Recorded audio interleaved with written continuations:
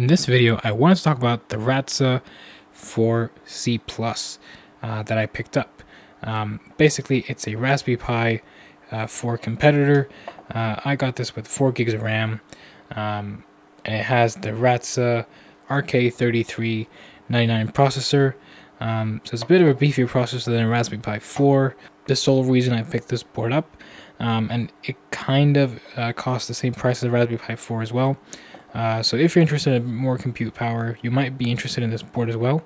Um, keep in mind, it's not uh, obviously designed by Raspberry Pi, so you you know your mileage may vary with all the hats and accessories that Raspberry Pi works with. Uh, and that's kind of the documentation tutorials that Raspberry Pi is known for. You won't get that with this manufacturer and this board, um, so just bear that in mind.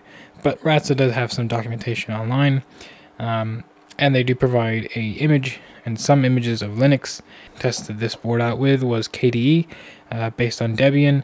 I'm not a huge fan of KDE, but I know lots of people like it a lot, um, so it might be a plus point for you. Um, so definitely keep that in consideration. You have also have GPIO pins that Radxa does have some documentation online. I haven't used it, um, but I, the initial thing was I just plugged in this fan.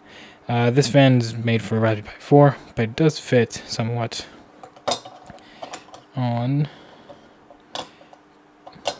the Radxa. You can see it, there's some cutouts, but obviously it's not completely 100% made for this board because it's not a Raspberry Pi 4. You have this ugly antenna, but yeah, you got it. So that's your Wi-Fi antenna, so you need to just keep that exposed. Uh, audio jack, micro US, micro HDMI, excuse me, uh, USB-C power, your classic four USB ports, two of them are 3.0s, and then your Ethernet port. Overall, quick video, but if you're interested in a competitor for Raspberry Pi 4s, or just want a bit more compute power, uh, and it's kind of priced similarly to Raspberry Pi 4 as well, um, so this might be something interesting for you. Um, it's called Radxa Rock 4 C+, uh, and Radxa has been making these computers um, for a while now, so uh, I'm sure lots of you might already know about Radxa Rocks. Um, the fifth generation is out already, and it's been out for a while.